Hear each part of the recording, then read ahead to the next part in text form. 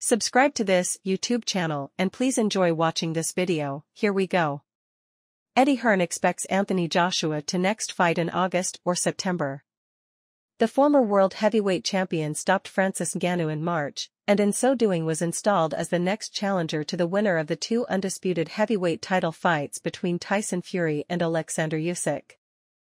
Fury Usyk has been scheduled for May 18 in Riyadh, Saudi Arabia, but a potential second fight between them would be unlikely before late 2024. Following successive defeats by Usyk, Joshua's reputation has been rebuilt with four victories in under a year, and he is therefore keen to remain active and, his promoter believes, if Fury and Usyk enter a rematch, he will likely do so by fighting the winner of the fight on June 1 between Filip Hrgovic and Daniel Dubois.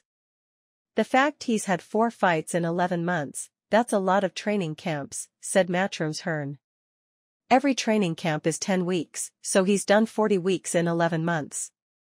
He probably would like to fight in July, but I think it will be more like August, September. He had a meeting the other day with myself and His Excellency, and they want to wait and see what happens on May 18th. His Excellency said we'll wait and see what happens May 18th.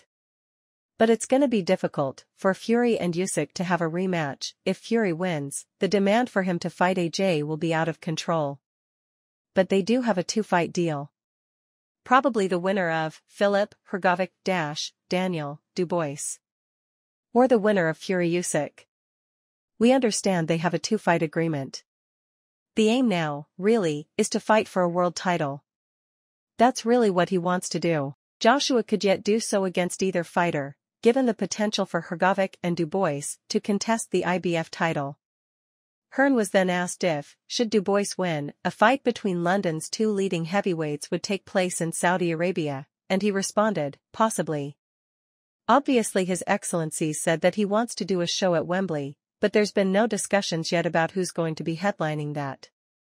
Let us know your thoughts down in the comments section below, and please don't forget to subscribe to this YouTube channel for all your latest in the world of sport. We sign out.